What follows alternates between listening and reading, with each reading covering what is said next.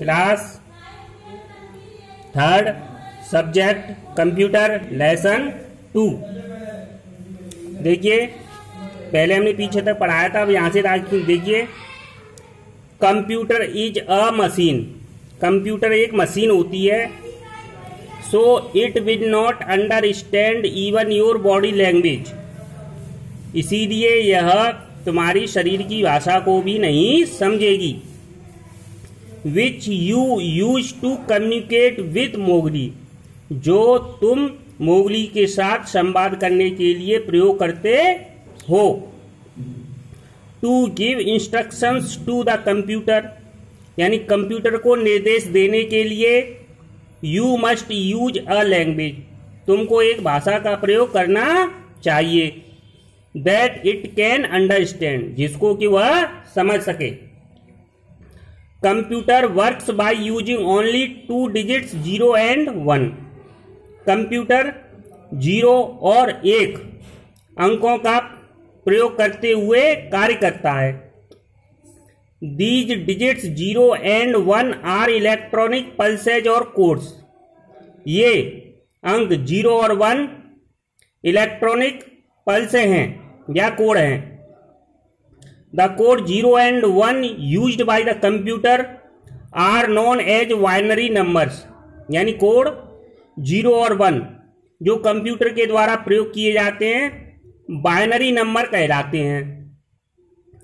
All the data fed into the computer in the form of numbers यानी computer के अंदर जितना भी डाटा डाला जाता है, वह नंबरों के रूप में होता है। नंबरों के रूप में और अक्षरों के रूप में, सिंबल्स। सिंबल के रूप में एंड साइन और संकेतों के मतलब चिन्हों के रूप में has a particular binary number. यानी इनके लिए एक विशेष बाइनरी नंबर होता है।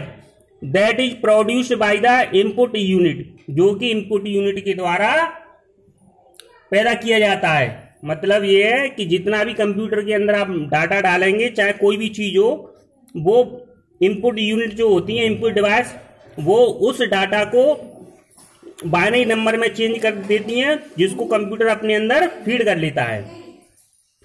सिंस क्योंकि computer understand only zero and one क्योंकि कंप्यूटर केवल ज़ीरो और वन को ही समझता है। The language of computer is known as binary language computer की भाषा को बाइनरी लैंग्वेज कहा जाता है।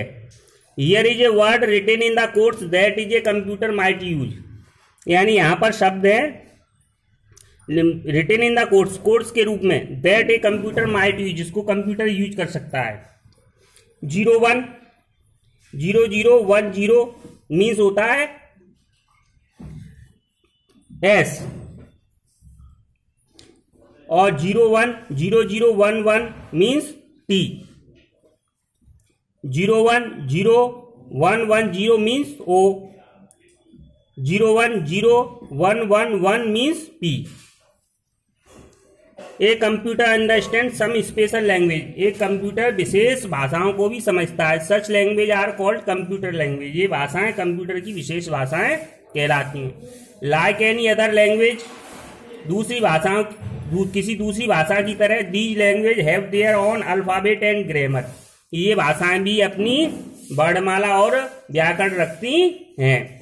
The grammar of a computer language is the rules तो कंप्यूटर की व्याकरण होती है, वो नियम होते हैं। That specify how to write the instruction और कमांड जो यह इस बात की विशेषीकरण करती हैं कि कंप्यूटर को निर्देश और कमांड किस तरीके से दें। ठीक है? इससे आगे फिर पढ़ाएँगे। धन्यवाद।